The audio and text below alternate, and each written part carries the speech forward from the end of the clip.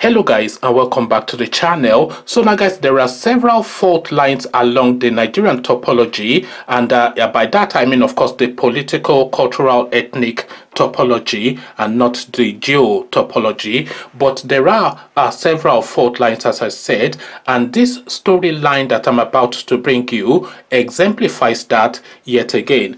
Guys i bring you this. Nuhu Ribadu's daughter apologizes to friends and family for her choice of wedding dress. So this is a, a storyline that is now all over the Nigerian social media space. Nuhu Ribadu, of course, the former czar of the EFCC, especially under the Obasanjo regime, his daughter has recently gotten married within the week, actually marrying the son of Atiku Abubakar. I was actually going to do a separate video on that just to show you the political mix of Nigeria because I wanted to do a name count of the people that were at that uh, wedding in that video. People like Tinubu were there. Uh, Atiku, of course, was there, father of the groom. Uh, Ribadu was there, who was uh, fighting corruption. And the two leading corruption figures, uh, or two of the leading corruption figures, should I say, uh, Atiku being his now uh, in-law and family now, and uh, Tinubu, of course, of the bullion. So, so you can just see that whole mess right there but that is not what this uh, particular video is about. Again, Nuhu Ribadu's daughter apologizes to friends and family for her choice of a wedding dress. So now let's now find out what's led to this apology. Fatima, the new daughter-in-law of former Vice President Atiku Abubakar, has regretted the choice of dress she wore for her wedding, which caused a stir on social media amongst adherents of her faith. Fatima, who is the daughter of the former Economic and Financial Crimes Commission EFCC chairman, Nuhu Ribadu, got married to Aliyu Abubakar at the weekend in Abuja. The event was attended by top political figures including APC chieftain uh, Bola Tinubu and uh, state governors. So we've already spoken about uh, Tinubu attending that uh, wedding. So let's just uh, uh, press on. Her choice of wedding dress generated backlash and criticism amongst followers of her faith on social media, including Kaduna APC chieftain Dr. Hakim Baba Ahmed, who described it as unbecoming of her faith and culture. In a statement issued on Instagram on Tuesday, October the 5th, Fatima said that the color fabric under the dress is the same with her skin, which made people think she exposed her skin. So now this is now what she wrote in her defense. She wrote, I got married on Saturday the 3rd, 1020 and some pictures of me that were taken inside our home got out and was shared on social media. This is an action which I sincerely regret. I apologize to my friends and family for this mistake and want to sincerely thank each and everyone that has risen to my defense. My underdress, which was brownish, was mistaken for being my skin and exposing my body. I will never do such. However, I accept responsibility for causing my family and well-wishers this dismay and will learn from this going forward. So now this is now the position that this girl has uh, been forced to take. So look at the timeline. The time that she wrote this um apology piece was on the 5th of October. The time that she got married was on the 3rd of October. So the girl got married on the 3rd of October, the most important day ever in her life, by the way, because there's no day more important in the life of a girl than her wedding day. It probably even supersedes the day that she has her first child, because of course it's the precursor to that day that uh, she has her first child. It's the thing that facilitates her being able to have that first child. So it's the most important day, more important than her graduation, etc., more important than anything, the day she leaves her father's home. But how would the Malamis have it? The Malamis would have it be the case that this girl is forced into a position that she is having to issue a public apology two days after her wedding day. So now why is she having to issue that apology? And by the way, the picture that you're seeing on your screen is the picture that has led to this apology. So look at the dress that this girl is wearing on her wedding day, by the way, because the wedding day, of course, is entirely for the bride and no one else. So she then wants to celebrate her being, she wants to celebrate her femininity, she wants to celebrate all that she is, and she wants to mark that in her own accent. So that accent, of course, is how that wedding, uh, the venue is prepared. The dress, of course, that she wears has to be entirely her choice. And then, of course, the food, etc. She has to have a say over all of these. So the whole packaging of that day is the accent that the bride is uh, choosing to present.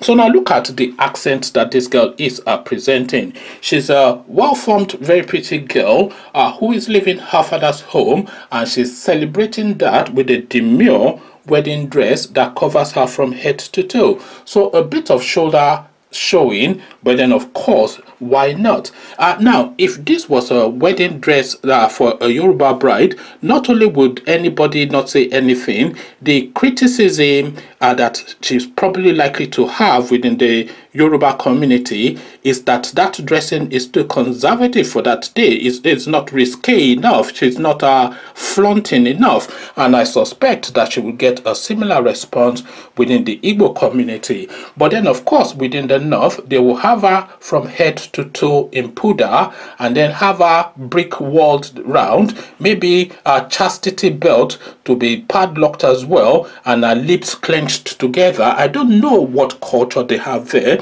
but if this wedding dress that this uh, young lady is wearing is enough for a senior APC member. And by the way, this person that spoke, this uh, APC chieftain, what is his name again? Dr. Hakim Baba Ahmed, is an highly educated man because I watch a lot of politics and he comments a lot.